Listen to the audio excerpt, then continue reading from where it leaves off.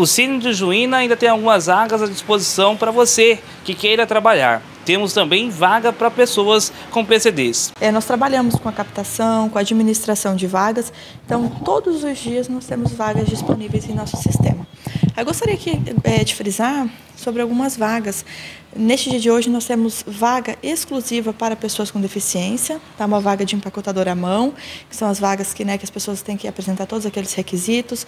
Nós temos vagas para é, soldador, até se tiver pessoas de outros municípios é, nos assistindo e que tenham interesse, tá? a empresa ela custeia caso a pessoa for contratada, ela custeia né, a vinda desse trabalhador para o município temporariamente. Nós temos vagas para auxiliar de eh, autoelétrica, é, pode ser sem experiência, pessoas que queiram estar é, buscando uma profissão, queiram aprender.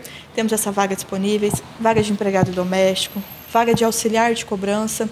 Então, assim, todos os dias nós temos vagas no Cine. Os trabalhadores que estão buscando é, por serem inseridos no mercado de trabalho ou serem reinseridos, tá, procurem até a unidade do Cine para estar é, realizando o cadastro, bem como a consulta é, do seu cadastro. Então, nós atendemos de segunda a sexta-feira, das 7h30 às 11 e das 13 às 17 horas. Lembrando que o atendimento ele é somente presencial e os trabalhadores precisam vir munidos dos seus documentos de identificação. O Cine em Parcerias também estará realizando algumas formações para você, trabalhador. Foi lançado na última semana né, é um convênio entre a Prefeitura Municipal de Juína e o Senai. Tá? Então, são vários cursos, né, várias capacitações, lembrando que, inclusive, estão abertos para que é, busquem até o Senai para que estejam é, fazendo as matrículas para esses cursos. São inúmeros cursos, então sempre a população que está aqui nos procurando, né, para que saber sobre essas capacitações, nós estamos tendo, a, vai ter a reativação do Senai,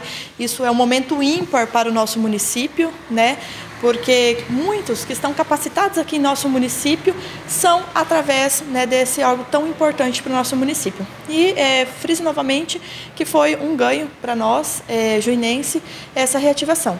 Então, é, estão tendo cursos, né, as inscrições para esses cursos. Então, aqueles que queiram se capacitar para estarem pleiteando as vagas no mercado de trabalho, busquem a unidade. Hoje, o mercado de trabalho, né, a gente tem um leque muito grande é, em questão disso. As empresas, cada vez que passam, é, o mercado de trabalho em si, ele vem tendo mais exigências para que as pessoas estejam capacitadas. Né? Quando a gente fala em capacitação, não são somente as capacitações né, para que as pessoas estejam profissionais para aquele exato, é, para aquela exata profissão, né? mas desde um atendimento, a questão de gestão de pessoas, como atender o público, como se portar.